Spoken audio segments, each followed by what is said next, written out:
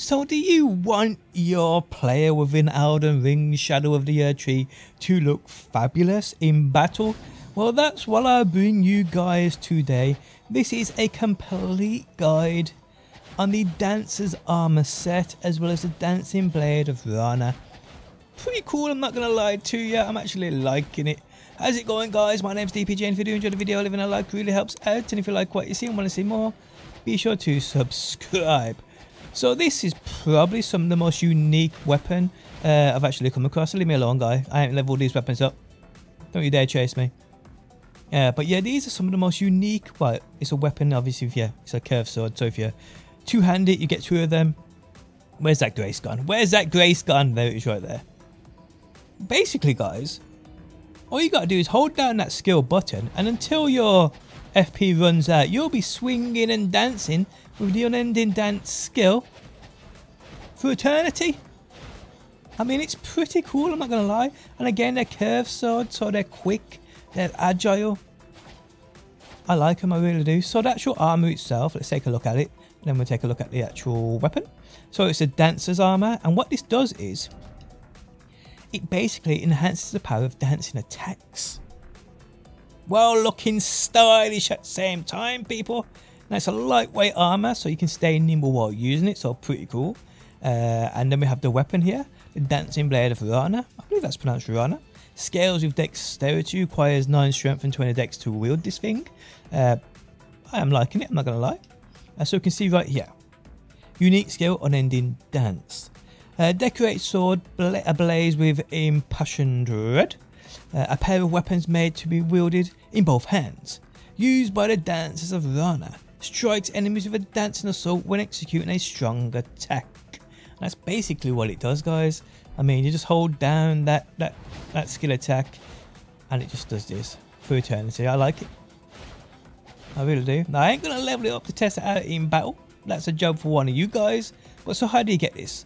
So you have to beat a boss called the Dancer of Ranah And she's quite easy, I'm not going to lie. You'll see that at the end of the video. Uh, me actually kicking her ass. Uh, but other than that, it's quite easy. I mean, you just have to go on a little bit of a trek to get there. So you need to come down to this right here. The Southern Nameless, more, oh, well, Nameless. Yeah, actually, it does say Nameless and it's sit close to my TV. The Southern Nameless Mausoleum. That's where you need to come to. Okay, so to get here, guys, it's quite a trek, but there's nothing stopping you.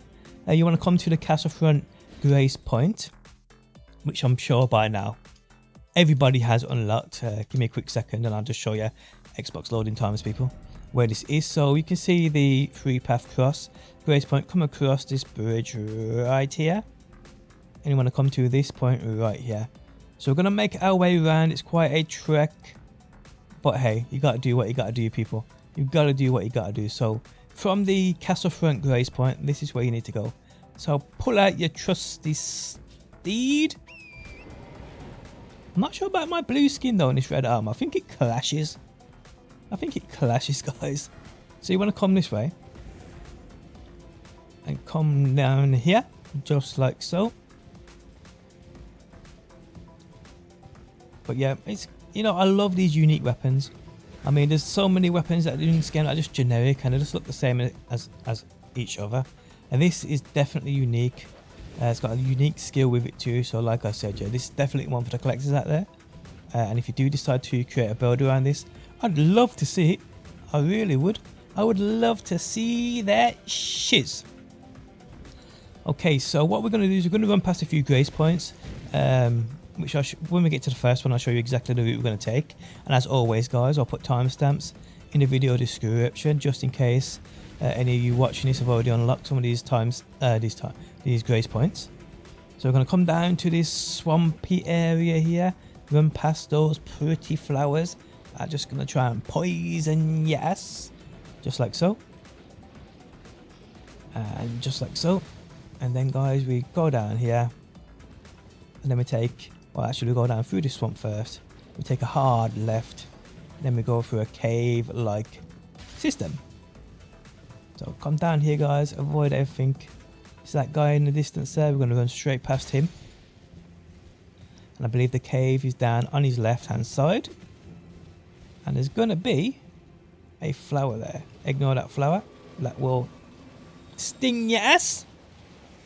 So yeah, now come this way. Just like so. I've run this route a couple so many times. I'm still a bit slightly confused. I've I got my lamp on? I think I do, yeah. Okay, so the grace point will now just be on your right hand side. So here's the grace point. So, okay, so we're at the Ellac River Cave and we're going to come down through this cave system to about here.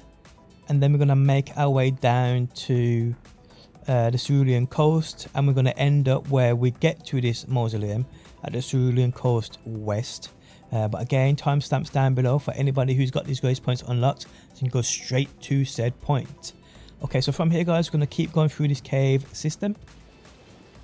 From where we are, which is just about here by the Ellac Grave uh, River Cave. Uh, grace point, so we're just pushing on. And there's a few little things you have to jump across here uh, that can be devastating. Just be... Ouch! I almost fell off then. That would have been the most embarrassing thing I ever did in my entire life. What was this at one time? Well, I'm not talking about that. Okay, so once we get down to these little stubs a little lower, you can just jump down and you'll be fine. So come up this way and you have to take a left and these birds. I hate these birds. I, I don't think I've ever got through here once without them actually hitting me and almost killing me. Let's see if I can do it this time. Don't you dare. Don't you. Oh, oh, them skills. Them skills. Okay, so I'm just going to come this way. Just like so. And again, there's a few things here you have to jump down on. So be, again, be careful.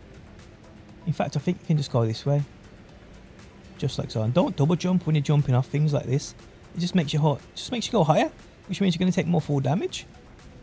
Okay, so now we're at this grace point right here, which is uh, the Ellac River downstream. Cool. Okay, so now we're just going to push on. And again, here we have to jump down, so be careful. Don't do those double jumps, people. It makes your fall damage go up, obviously. Okay, so we're going to be back outside now in that area we saw in the trailer, which looks absolutely beautiful. Um, which we'll see right now. You can actually go on this water. I don't know why I'm actually jumping like this, but hey. Okay, so the only thing we have to be careful here is that fire dude. We're going to push on past him. And we've got to be quick about it. Watch that crab too. Yay! I'm hoping. We've got to push up to the right there slightly. So I'm going to go up here. I really don't want him kicking me off my horse.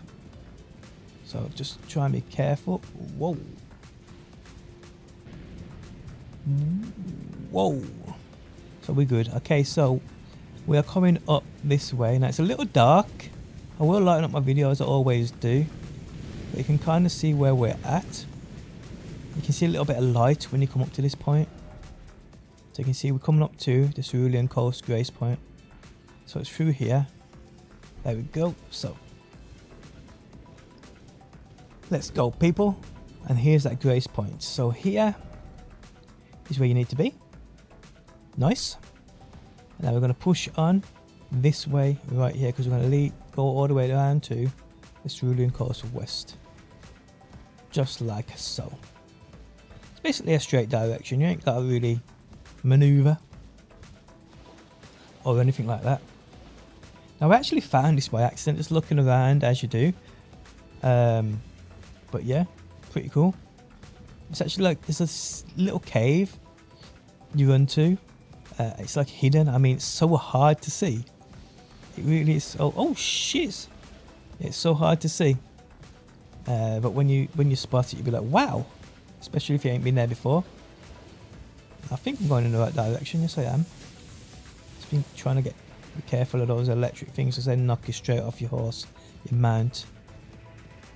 You can see that grace point right there in that distance. We're going to run to that. Just for the folks who haven't got it unlocked. So here we are. You can see exactly where we're at. The Cerulean Coast West. So from here, guys, you want to face this big rock out towards south and just run this way. Keep it on your right hand side and run this way. I'm just going to jump up here. I don't know if you can go right there, but I'm just going to jump up here. You want to go right at this uh, set tree. Jump down there. And then guys, here's that secret cave, look. How mad is this? How mad is this? And be careful not to jump all the way down, because that ain't going to end well for you. Oh yes, steed. And just come straight through. Hug the left hand side and follow it through. Just like so. So just keep hugging the left hand side. Be careful here because there's going to be a giant lobster that jumps out. Just like that. And there we go. We are coming to the exit of this cave-like system. And once you come out here guys, you can go left or right or even up and over. Because we're basically going back west. So we're basically, I'm just going to go around this way. Watch the crab, just keep the water on your right hand side obviously.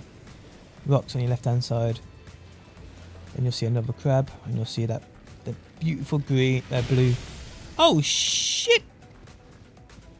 Beautiful blue flowers. And then guys, you'll see as you come up over this this corner, there it is. And this is where you need to Just like so. And guys, in here is the dancer of Ranah. Go down, take her out, and you are rewarded all of this juicy loot. And there we have it guys. Guys, if you enjoyed the video, leaving a like really helps out. If you like what you see and want to see more, be sure to subscribe. And hopefully guys, I will see you on that next one.